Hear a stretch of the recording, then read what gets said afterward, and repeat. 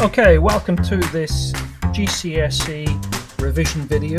This is the component 2 uh, topic Christian practices, Christian practices, and this is uh, video 5 of 5 videos. And in this last video, we're going to be looking at the work uh, for reconciliation, Christian attitudes to other religions, and the work for reconciliation.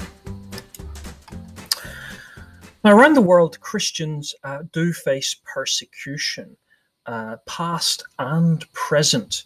And in the last few years, uh, perhaps tens of thousands of Christians have lost their lives for their faith in Christ. And persecution uh, is a word that can mean just suffering because of loss of reputation or people calling you names, all the way through to martyrdom um, a martyr is someone who dies or is killed for their religious beliefs. Um, in Iraq during the Gulf Wars of the last decade, uh, 80,000 Christians died because of their belief from the Yazidis to the other uh, ancient history, ancient Christians of Iraq who refused to give up their Christian faith and fled for their lives and still live, many of them, they haven't died in in camps on the borders of Iraq. Jesus himself was a martyr. He warned the disciples that they would be persecuted for their faith. Each one of them was eventually martyred. Christians believe that they were given a divine commission from Jesus to spread the good news of the gospel, and this may be in the face of personal danger.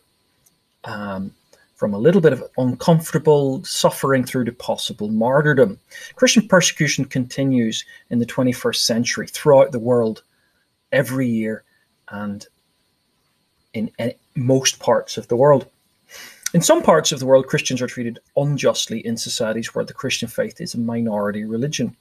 For example, terrorist organizations like the Islamic State in the Middle East have targeted Christians. As I said, 80,000 Christians died in Iraq forcing them out of their homes. They would paint a little, look like an N sign on their doors.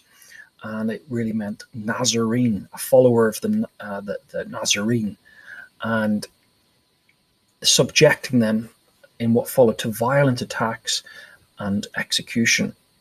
Evangelical Christian organizations such as Christian Freedom International and Open Doors seek to help persecuted Christians. These organizations provide practical help to persecuted Christians, providing Bibles and world uh, active and, and work actively for human rights of Christians in suffering persecution. So it's very hard to know exactly the figures, but it's estimated 322 Christians are killed for their faith each month 214 churches and Christian properties are destroyed. 772 forms of violence are committed against Christians, such as beatings, abductions, rapes, arrest, forced marriages. And personal testimonies from places like North Korea uh, and beyond China and beyond abound. Open Doors was established because of just such experiences of Christians in 1955 when Brother Andrew, a Dutch missionary, smuggled Bibles into the Soviet Union where Christians were being persecuted. Today, Open Door still supports persecuted Christians across the world in different ways, distributing Bibles, uh, training Christians and church leaders to deal with the tra- trauma people might be suffering whilst maintaining their faith, providing practical support for Christians who have been victims of disasters, speaking on behalf of persecuted Christians, to raise awareness of their situation and gather support. For example, they might lobby MPs in the UK and government. People in the UK and Ireland support their work both practically and financially. So, the work of Christian reconciliation. Um, in the Christian church, there are many denominations which have caused which has caused some conflict in, in the past. Think Protestants and Catholics in Europe. Many believe it's important for different denominations to work together as much as possible. And living in a pluralist society means reconciliation is more important now than ever. It's only in the last couple of decades that, for example, in Northern Ireland, the peace process, 1998, the Good Friday peace process was signed. And Ireland has examples. The Corrie Corrymeela Centre of Reconciliation in uh, up in the north coast of, of Northern Ireland, Ballycastle, really important uh, way of bringing together um, Catholics and Protestants from across the region for reconciliation. And Corrie Corrymeela is an example of an, an ecumenical uh, practice. The ecumenical movement means Christians of different churches, and the ecumenical movement is an attempt to bring closer together different Christian denominations and to promote Christian unity throughout the world. The movement aims ultimately to unite all Christians.